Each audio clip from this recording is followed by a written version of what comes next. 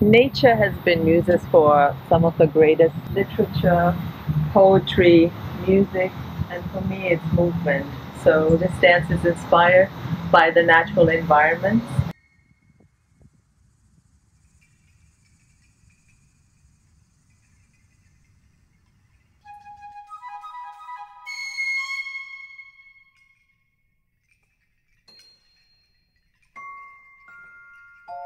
the collaboration between Yatkin and South Chicago Dance Theater has been such an enriching experience to be able to connect with the environment and to be able to be in the Garden of the Phoenix for a lot of things within the south side of Chicago, which is where I'm from. There aren't so many things that are advertised in the city or in this part of the city that you can come to that's that's engaging, that's inviting, that's safe in like what I would consider my home in Chicago. I'm really grateful to have the ability to engage with it, to perform in it, to share this experience with everyone else that's able to come around, and also to introduce this space to others who, like me, did not know that it existed.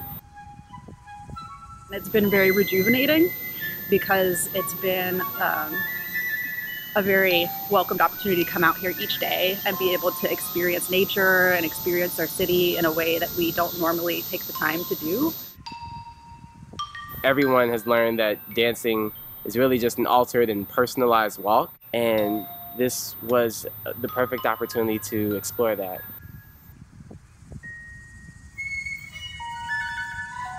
I would love to see the wish tree stay because I think it's a beautiful gesture and I think it's also very symbolic in Japanese culture. With your eyes closed, feeling the floor, your feet, we're going to gently walk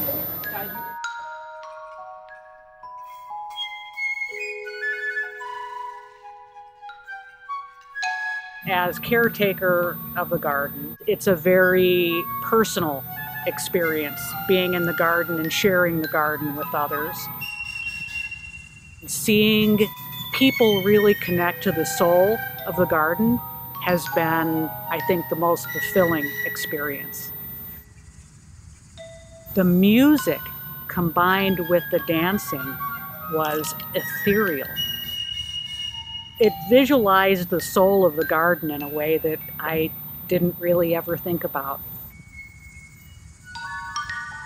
To engage with the park in a different way and to influence that, in, that different engagement with others and to bring that out of people. That's been the most amazing part of this performance. You know, you come into a rehearsal and you dance a lot and you, you know, are fatigued and tired, but you leave feeling more connected and whole because you've had this you know experience of nature with with people that are having it with you um, in a way that connects you to them.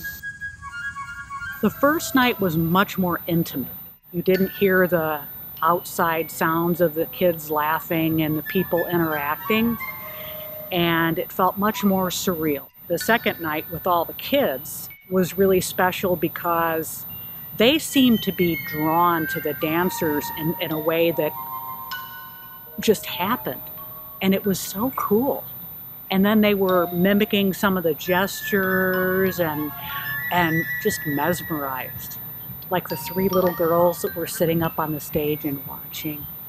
And the way that each dancer interacted in the garden in their own way was really special too. And then at the end, when everyone was kind of coming together, it was like a flock of birds flying together.